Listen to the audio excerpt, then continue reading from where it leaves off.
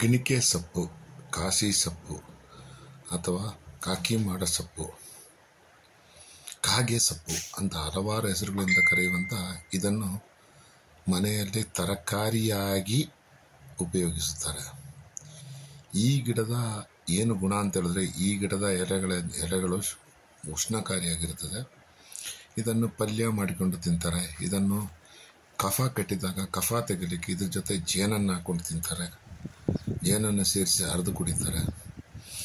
ಇದು ರಸವಾದದಲ್ಲಿ conversion of gold ಗೋಲ್ಡನ್ನು ಕನ್ವರ್ಟ್ ಮಾಡಿ. ಗೋಲ್ಡ್ ಪಾದರಸ ಮತ್ತು ತಾಮ್ರ ಅಥವಾ ಚೆಂಬು ಇಂಥದನ್ನು ಕನ್ವರ್ಷನ್ ಅಂದರೆ ಅದನ್ನು ಬೇರೆ ಲೋಹಗಳನ್ನು ಮಾರ್ಪಡುವಿಕೆಗೆ ಇದರ ರಸವನ್ನು ಉಪಯೋಗಿಸ ಇದರ ಒಂದು ವಿಡಿಯೋವನ್ನು ನಾನು ಶಾರ್ಟ್ ವಿಡಿಯೋದಲ್ಲಿ ಇದರ ಒಂದು ವಿಡಿಯೋವನ್ನು ಮಾಡಿದ್ದೇನೆ. ನೀವು ನೋಡ್ಕೋಬೋದು.